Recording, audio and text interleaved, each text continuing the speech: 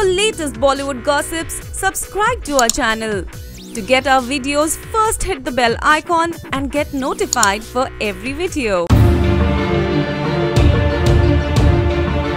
Salman Khan's legal woes seem unending. These days, he's embroiled in the Black Buck shooting case, the legal arms possession case, and the hit and run case as well. And now we hear that another legal issue has fallen into this star's kitty.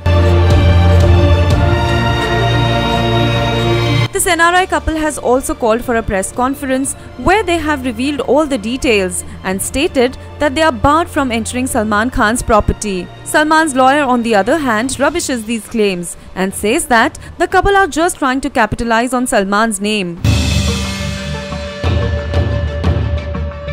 So, what do you have to say about this? Do let us know by commenting in the section below.